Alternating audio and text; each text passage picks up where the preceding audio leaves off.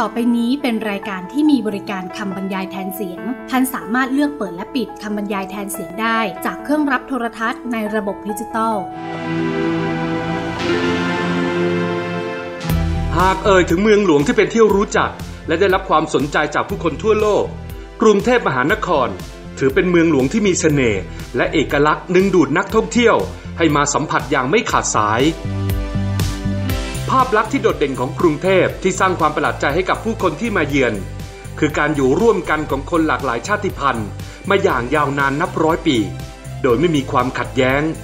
ความแตกต่างกันทางศาสนา ชาติพันธุ์ หรือความเชื่อ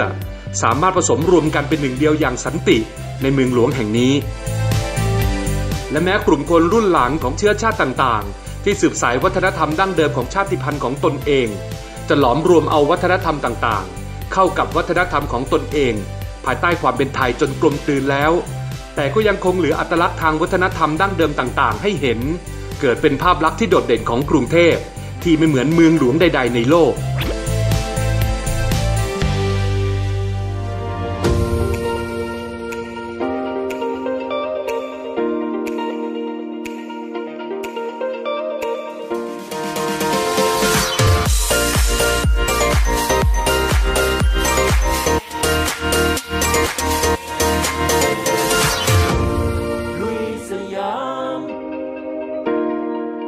วันนี้เราไปดูฝรั่งอย่างคุณครูเกรก ออกไปลุยสองย่านในกรุงเทพ ที่แสดงความหลากหลายของวัฒนธรรมในเมืองนี้กันครับ ย่านแรก ย่านที่คนกรุงเทพคุ้นเคยกันอย่างดีครับ กับย่านที่มองไปทางไหน ก็มีแต่ร้านผ้า ย่านพาหุรัตน์ถึงแล้วพาหุรัตน์ย่านพาหุรัตน์คือย่านค้าขายรอบๆ ถนนพาหุรัตน์เขตพระนคร ความวุ่นวายในพาหุรัตน์ถ้าให้ครูเกรกลุยเดี่ยว คงจะพาคุณผู้ชมหลงแน่ ๆ วันนี้เราเลยนัดผู้ที่มีความรู้เรื่องพื้นที่พาหุรัตเป็นอย่างดี มาแนะนำครูเกรกเขาแล้วล่ะครับ แล้วตอนนี้นะครับทีชเรกอยู่รอบๆตลาดที่พาหุรัตนะครับ จะมีคนจีน คนอินเดีย คนไทย คนฝรั่งด้วย มีวัฒนธรรมหลากหลายมากมายนะครับ แล้วทีชเรกไม่เคยมาที่นี่นะครับพาหุรัตแต่จะมีพี่คนหนึ่งนะครับ จะพาทีชเรกไปเรียนรู้ไปเที่ยวนะครับ น่าจะเป็นคนนี้ วัสดีครับผม สวัสดีครับคุณเกรกสวัสดีครับครับ สวัสดีครับครับ สวัสดีฮะอ่ายินดีต้อนรับสู่เอ่อพื้นที่ของตลาดพหลรัฐครับ เป็นตลาดพหุรัตน์ใช่ไหมครับครับ ตลาดพหลรัฐเนี่ยเป็นศูนย์รวมของเอ่อคนหลายเชื้อชาตินะครับ พี่น้องชาวไทย ชาวจีน ชาวอินเดีย พื้นที่เราเป็นพื้นที่ค้าขายครับนะครับ คนไทย คนจีน คนอินเดียเอ่อมีการค้าขาย มีทุกชาติเลยนะทุกชาติเลยครับเอ่อโอ้โหเอ่อโดยแล้วอีกอย่างก็คือพื้นที่พาหุรัดเนี่ย อาจจะเป็นที่กล่าวขานได้ว่าเป็นพื้นที่ที่เขาเรียกว่าเป็น Little India หรือไม่ก็เป็น India Townอ๋อคล้ายเคยๆได้ยินเลยครับมันอ่คล้ายๆกัน จริง ๆ แล้วก็ในพื้นที่ของพาหุรัดเนี่ยนะครับส่วนใหญ่แล้วเป็นแหล่งค้าขายครับค้าศูนย์รวมค้าขายสินค้าส่งอะนะครับ แล้วก็ที่ขึ้นชื่อก็คือเรื่องอาหารอินเดีย โอ้อยากที่นี่กินนะครับ อาหารอินเดียอ่าเชิญฮะเชิญฮะเดี๋ยวจะพาไปลิ้มลองอาหารโอเคนดียนะครับเห็นว่าที่นี่นะครับจะครับมีคนทั่วโลกคนจีน คนไทยฝรั่ง แขกด้วยนะครับ แต่ครับ ผมดูไม่ออก ที่เนี่ยอย่างยกยกตัวอย่างอย่างคนอินเดียย่านนี้ก็มีทั้งอินเดียซิกครับ อินเดียอ่าฮินดูแล้วก็มุสลิมนะเราอยู่รวมกันอย่างสงบและสันติสุข ที่เนี่ยเราก็จะเน้นการการทำมาหากินการค้าการขายครับ นะครับฉันพี่น้องฉันเครือญาติกัน มีอะไรเราก็ช่วยเหลือกันนะครับ ได้ครับ ครับ เดี๋ยวเราจะเดินไปดูนะครับ อะตลาดไพหุรัตน์เราเราค่อยๆเดินมีอะไร เดินไปดูเรื่อยๆนะครับ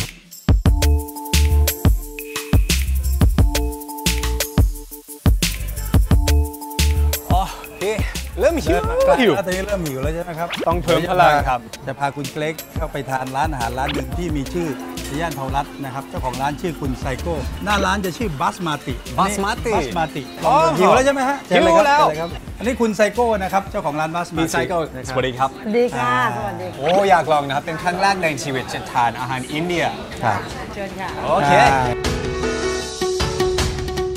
คุณพี่ครับเปิดร้านมานานหรือยังครับ ก็ประมาณ 10 ปีค่ะ แล้วดูไม่ออกนะครับเป็นคนไทยหรือเป็นคนจีนหรือคนอินเดีย คนจีนที่เกิดประเทศไทยเนี่ยแหละค่ะ เห็นว่ามีลูกค้าเยอะมากเนี่ยครับใช่ใช่ แสดงว่าขายอดีร่คอรับยขายค่อนข้างดี หนึ่ง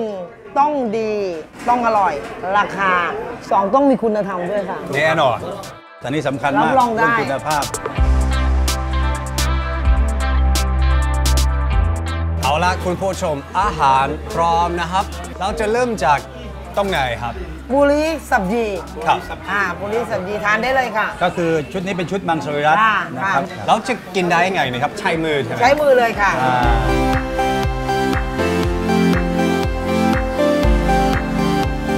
เป็นไงบ้างครับ อร่อย อร่อยไหมฮะหอม อ่า รู้สึกว่า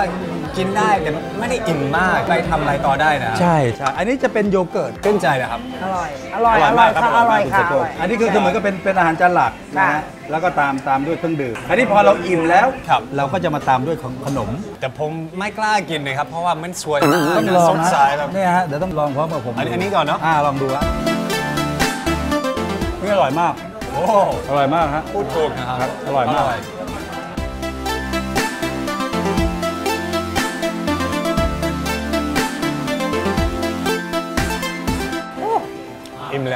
บ้างครับอิ่มเริ่มอิ่มนะครับ ครับ โอ้อร่อยมาก แล้วต้องขอบคุณพี่ไซโกนะครับ ค่ะยินดีเจ้าของค่ะร้านปาสมาติค่ะ อร่อยมาก ถูกใจถูกปาก ค่ะต้องลองนะฮะโอเค อะทีนี้เราก็มาดูนะครับหลังจากเราเดินชมอ่าสภาพตลาดแล้วก็เดี๋ยวครับ จะพามาแนะนำคุณเล็กร้านขายผ้า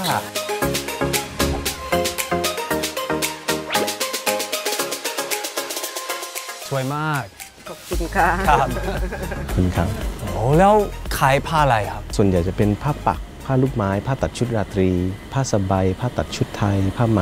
ลูกค้าส่วนใหญ่ก็จะมาซื้อผ้าตามร้านผ้า แล้วก็ไปให้ดีไซเนอร์ในย่านใกล้ๆนี้อ๋อตัดไปชุดตัดให้ชุดใช่ไหมครับใช่ครับ แล้วเราก็จะมีช่างที่เราสามารถแนะนำอยู่ในตลาดเผารัฐนี่เลย ช่างประจำบางทีเราก็ต้องเรียกเขามาช่วยวัดตัวให้คนต่างชาติก็มาเยอะ ร้านนี้คุณปู่ท่านอยู่มาประมาณ 55 ปีแล้ว55 ปีจ้ะแล้วคุณพี่นะครับเป็นยุคใหม่เป็นแบบรุ่นใหม่นะครับ แล้วใช้ชีวิตยังไง เห็นว่ามีคนจีนคนไทยคนอินเดียรู้สึกยังไงครับ ผมรู้สึกไม่ต่างนะฮะไม่ต่างเราเราก็เกิดมาด้วยกันเล่นมาด้วยกันโตมาด้วยกัน เรียนหนังสือในโรงเรียนเดียวกัน ผมรู้สึกว่าไม่ว่าคุณจะเป็นไทยจีน ไทยมุสลิม ไทยซิก ไทยพุทธ ทั้งหมดก็คือคนไทย ส่วนผมนะครับก็เป็นคนอเมริกา ในมุมมองของฝรั่งส่วนมาก เราจะมองว่าคนไทยจะมีหน้าตาแบบนี้ พูดภาษาไทยเท่านั้น แต่จริง ๆ แล้วประเทศไทยคนไทยมีความหลากหลายหลากหลายจริงสามารถเข้ากับทุกได้ทุกศาสนาได้ๆ เราต้องขอบคุณด้วย ขอบคุณมากนะครับ คุณแม่จ้าสวัสดีขอบคุณคุณพี่นะครับ ขอบคุณมากนะครับ ขอบคุณมากครับ เดี๋ยวผมจะไปเที่ยวต่อนะครับรอบๆตลาดนะครับรอบๆกันต่อนะครับย่านเผารัดนี้ต่อนะครับได้ครับ อย่างที่คุณนวจิตเจ้าของร้านพูดกับครูเกรกนั่นแหละครับ จริง ๆ ความต่างที่เห็นในพาหุรัฐ เป็นเพียงแค่ศาสนา เชื้อชาติ แต่เราต่างเป็นคนไทยเหมือนกัน ที่ยอมรับในความต่าง และอยู่ร่วมกันมาเกินร้อยปี ได้อย่างมีความสุขครับ โอ้โห ดูดีนะครับ ผ้าภาษาอังกฤษจะใช้คำว่า cloth นะฮะ th ด้วยอาบากแลบลิ้นนิด cloth cloth แต่ถ้าเป็นเสื้อผ้าจะเรียกว่า clothing clothing นะฮะแล้วสมมติเป็นร้านขายเสื้อผ้าก็เป็น clothing store หรือ clothing shop ก็แล้วแต่นะครับ clothing store หรือ clothing shop สุดท้ายอีกคำหนึ่งนะครับ ไม่ใช่ไม้ตี ไม่ไม่ได้ตีนะ อันนี้จะเรียกว่าหลาภาษาอังกฤษพูดว่า yard นะครับลงท้ายตัวดีด้วยดอเด็ก yard yard โอเค ทบทวนนิดนึงนะฮะ cloth อย่างนี้ cloth clothing clothing store สุดท้าย yard อะลองดูนะฮะ ลองพูดด้วย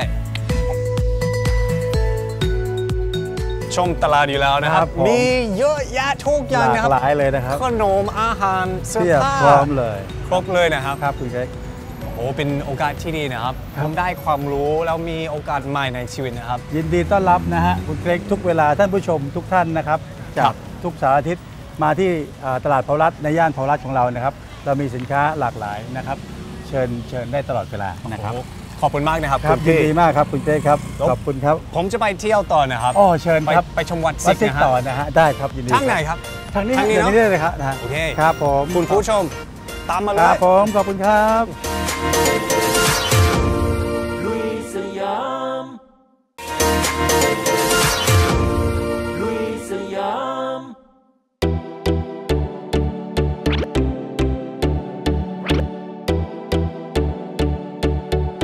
อีกหนึ่งอาคารที่โดดเด่นในย่านพาหุรัตก็คือวัดซิก ที่เป็นศูนย์รวมจิตใจของชาวไทยซิกในกรุงเทพ เดี๋ยวเราตามครูเกรกเข้าไปสำรวจด้านในกัน เพราะน่าจะทำให้เรา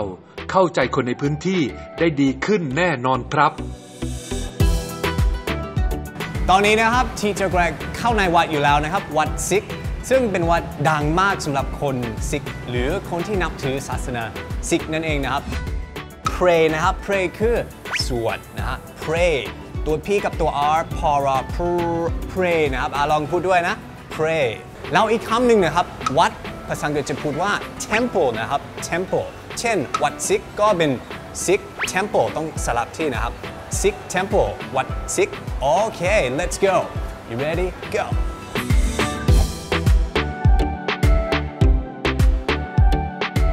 ตอนนี้นะครับดูจากป้าย อ่านไม่ออกเลยนะครับ ภาษาซิกหรือเปล่า แต่อยากรู้นะครับ เอ๊ะมันบอกว่าอะไร แล้วถ้าอยากรู้นะครับต้องเข้าไปดูนะครับ ผมจะลองหาผู้รู้ แล้วเขาจะบอกทุกสิ่งทุกอย่างเกี่ยวกับวัดซิกนะครับลุย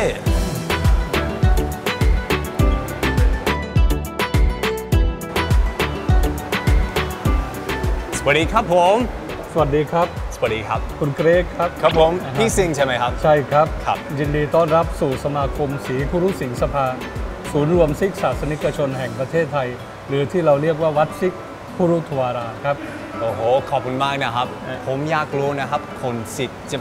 ทำตัวยังไง หรือนับถืออะไรมีความเชื่ออะไรบ้างอยากรู้ทุกสิ่งทุกอย่างนะครับ วันนี้เดี๋ยวผมจะอธิบายให้ทราบครับ ได้ครับตอนอื่นขบนะครับ เวลาเข้ามาในศาสนสถานเนี่ยครับเราต้องถอดรองเท้า ฝากเขาไว้ก่อนเอาเหมือนวัฒนธรรมไทยทั่วไปนะครับครับจะถอดรองเท้าครับถอดรองเท้าฝากพี่ๆตรงนี้ไว้ได้เลยฮะอ๋อจะรับตรงนี้เนอะรับตรงนี้เลย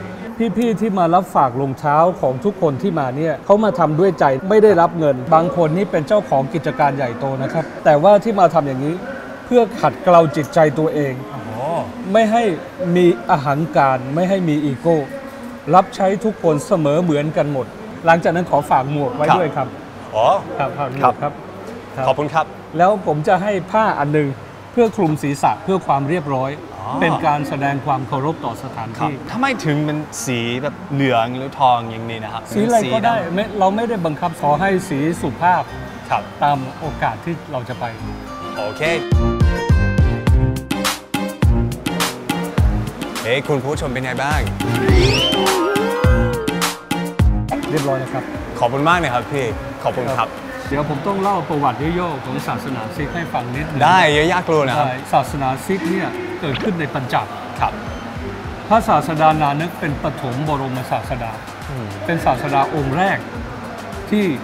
เอาสารสำคัญจากพระผู้เป็นเจ้ามามอบให้มวลมนุษย์ หลังจากพระศาสดาคุรุนานึกองค์ที่หนึ่งแล้ว สืบต่อมาเรื่อยๆ จนถึงองค์ที่สิบ ฉะนั้นต่อไปนี้จะไม่มีศาสดาในรูปแบบของมนุษย์อีกต่อไป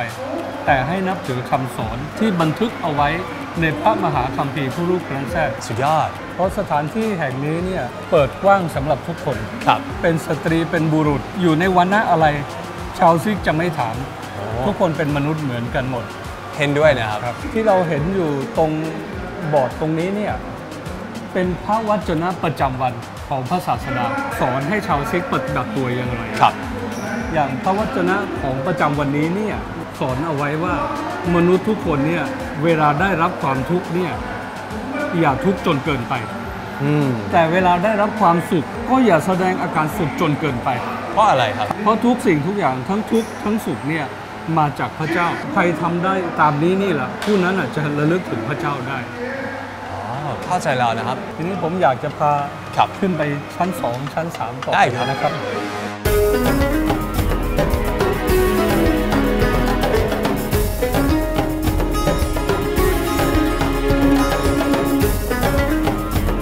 ชั้นสองแห่งนี้เนี่ยเราเรียกว่าโรงครัวของพระศาสดา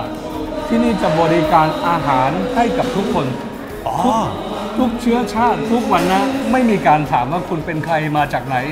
สุดยอดใจดีมากนะครับครับ อาหารที่มีบริการที่นี่เนี่ยนะฮะ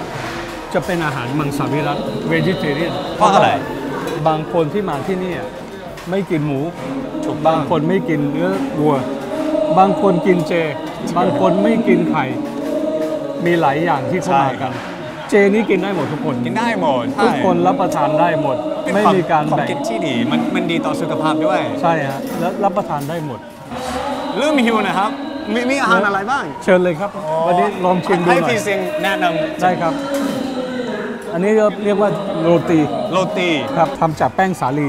ซาลีโฮลวีตโฮลวีตโอเวทครับเอาดูจากหน้าตาสีน้ำตาลนะครับเอ่อหอมดีนะหอมด้วยหอมด้วยดีครับใช่ฮะ ข้าวข้าวสวยครับโอเคข้าวสวยนะครับ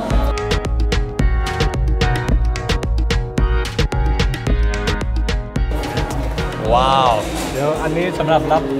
ชาร้อน เดี๋ยวคุณเกรกไว้นี่ก่อน ได้ครับ ครับโอเคงั้นเชิญเลยครับ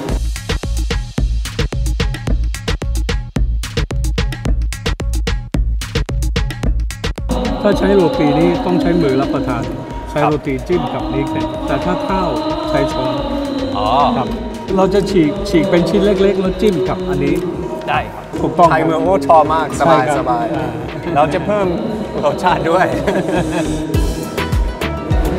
อร่อยนะอร่อยนะ อร่อยครับ ไม่ได้พูดเล่นนะครับ อร่อยจริง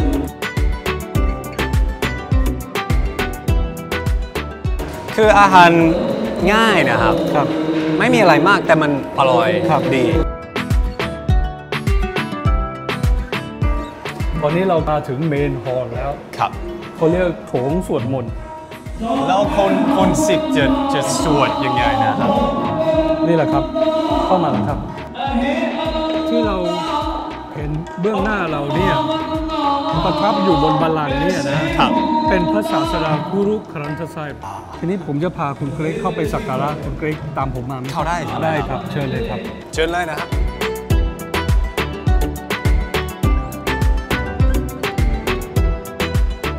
เราจะกราบก้มกราบครับ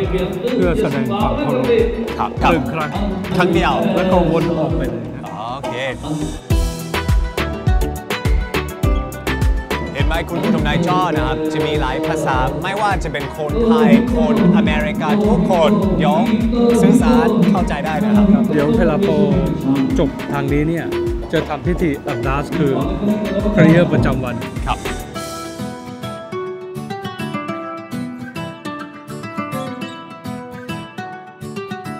สำหรับวันนี้นะครับต้องแสดงความขอบคุณนะครับ ผมเริ่มจากศูนย์เลยนะครับ แต่ตอนนี้กำลังเข้าใจมากขึ้นนะครับ คนสิทธิ์เป็นคนใจดีใจกว้าง ช่วยได้ทุกคนบนโลกนะครับ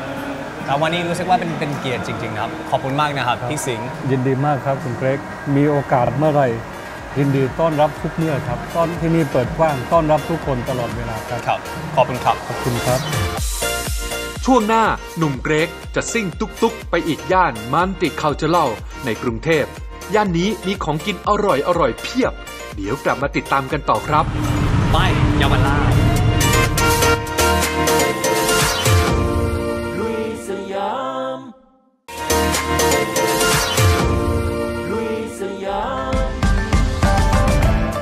ถนนเยาวราช หรือที่ได้รับการขนานนามว่าถนนมังกร ตามเส้นถนนที่มีความคดเคี้ยวไปมา ในอดีตสมัยรัชกาลที่ 5 กรุงเทพมีโครงการตัดสร้างถนนการค้าใหม่ และปรับปรุงถนนขึ้นหลายเส้น แต่เยาวราชเป็นถนนที่ประสบเหตุการณ์เยาวราชดำเนินการต่อไปได้ เนื่องจากผู้อยู่อาศัยที่มีจำนวนมาก บนพื้นที่เยาวราชเดิม คัดค้านการตัดถนน แต่ด้วยพระมหากรุณาธิคุณล้นเกล้าและความเข้าอกเข้าใจประชาชน รัชกาลที่ 5 จึงทรงมีพระราชองค์การดำรัสเหนือเกล้าว่าไม่ต้องพระประสงค์ ตัดถูกที่ดินของชาวบ้าน และเปลี่ยนทิศทางการขยายถนน ลงมายังบริเวณพื้นที่ที่ยังว่างอยู่ รวมถึงพระดำริจะให้ราษฎรได้รับค่าที่ดินจากรัฐบาล หากตัดถนนถูกพื้นที่ดินของใคร ถนนเยาวราชจึงใช้เวลาก่อสร้างนานถึง 8 ปีจึงแล้วเสร็จ และมีรูปร่างคดเคี้ยวอย่างที่เห็นในปัจจุบัน แล้วตอนนี้นะครับทีเจแกรกกำลังเดินทางไปหาวัดจีน เฮ้ย พอดีเลยนะครับศาลเจ้าใต้ฮ่องกงนะครับ แถวเยาวราช แต่ต้องก่อนอื่นนะครับ ต้องซื้อทูบนะครับ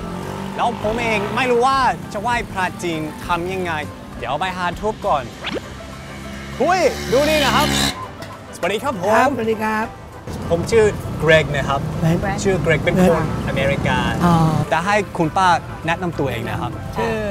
สันสนี สันสนีสันสนีใช่ไหมครับไม่หมวยพัชรีค่ะพัชรีค่ะมีพามินีทำไมถึงย้อมผมสีม่วงสดใสชอบแล้วถ้าเป็นผมนะครับใช้ได้หรือเปล่าสีม่วงได้ได้ได้จัดไปนะครับยิ่งรอเลยขอบคุณมากนะครับแต่ผมเองนะครับไม่รู้จะจะไหว้พระจะต้องทำยังไงนะครับเดี๋ยวแนะนำให้เดี๋ยวมาพาไปไหว้แนะนำสอนท่า โอเค พูดถึงการไหว้เจ้าของชาวจีนนั้นนอกจากทูบเทียนและดอกไม้แล้ว จะต้องมีการจัดเตรียมเครื่องเส้นสำหรับไหว้ ประกอบด้วยของข่าวและผลไม้ โดยผลไม้ที่ใช้ไหว้จะนิยมเลือกชนิดที่มีชื่อเป็นมงคล เช่นส้ม ภาษาจีนเรียกว่า ใต้กิก แปลว่าโชคดี ส่วนผลไม้ชนิดอื่น เช่นองุ่น หรือผู้ท้อ แปลว่างอกงาม สับปะรดก็นิยมไหว้กัน เนื่องจากชื่อภาษาจีนคืออั้งไลแปลว่ามีโชคเข้ามา ส่วนใครที่อยากจะมีลูก แนะนำให้ไหว้ด้วยเสียงเจียว หรือกล้วย ที่มีความหมายถึงการมีลูกหลานสืบสกุลนั่นเองครับ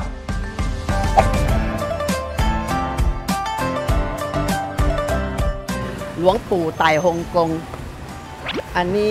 108 ปีแล้ว โหนานมาแล้ว เนี่ยเก่าแก่แล้วสารเก่าแก่ ปักนี่เลยค่ะโอเคอ่าฮะปักเป็นคู่ จะได้เฮงเฮงรวยรวยโชคดีปีใหม่ สาธุไหว้นี้ก่อนเทพพยดาฟ้าดิน ครับผม คนจีนเรียกทีกง ทีโกงใช่ไหมครับเออชื่อนามสกุลใช่จะเรียกชื่ออ่าครัใช่บใช่ทำอย่างนี้ใช่ไหมอ่าเรมันร่ำรวยรวยรวยรวยแหงแหงแหงสุขภาพดีสา ธุใช่ รู้สึกดีขึ้นนะฮะสสบายใจไว้นี่ครับหลวงปู่ไต่ฮงกง ขอให้ทุกคนมีความสุข สุขภาพดีแข็งแรง รวยรวยแหงแหงดีแล้ว เดี๋ยวเดี๋ยวเติมน้ำมันมีน้ำมันด้วย เออเติมแต่สองตะเกียง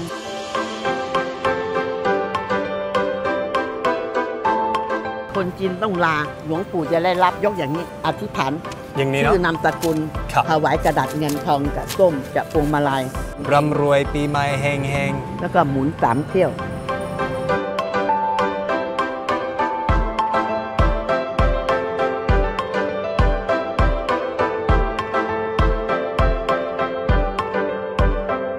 คุณป้าใจดีมาก แต่เริ่มหิว หิวนะครับ มีร้านอาหารอร่อยแถวนี้อไหมคร่บอยอะอาม่าชอบไปกินเยาวราชเยาวราชวันนี้นะ ขอบคุณมากเลยครับรวยๆสำหรับโชคคำดีแนะโชคดีนำด้วยนี่ห่าวถึงแล้วนะครับเยาวราช ไปหาของกินมากินอะไรดีเนาะจะลองหอยเชลล์เผานะฮะ มาแล้วหน่อยครับอู้ร้อนมันร้อนจิ๊บโอ้โห เนื้อหอยเต็มเลยพร้อมด้วย อาวุธพร้อมแล้วเอาเผ็ดเปรี้ยว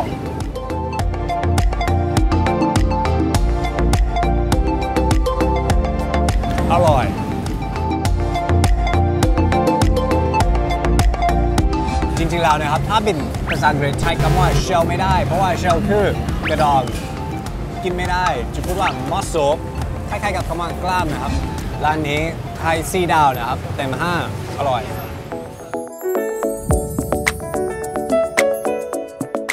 กรุงเทพเรียกได้ว่าเป็น crazy beautiful city คือถึงจะวุ่นวาย แต่ก็มีเสน่ห์ ถึงจะมีตึกสูงมากมายตามสไตล์เมืองหลวง แต่ก็มีประวัติศาสตร์ของไทย ให้ได้เรียนรู้อีกเยอะแยะมากมาย มีโอกาสเราจะส่งครูเกรกมาลุยกรุงเทพอีกแน่นอนครับ ตอนต่อไปคุณครูเกรกจะไปลุยที่ไหนในสยาม ติดตามได้ในรายการ รวมถึงช่องทางติดตามรายการต่างๆ อย่าลืมกดไลค์กดแชร์ กดติดตามกันด้วยนะครับ นำเรื่องราวที่น่าสนใจมาได้ ทางเพจ Facebook ลุยสยาม และติดตามชมย้อนหลังได้ทาง YouTube Channel ของรายการ แล้วพบกันนะครับ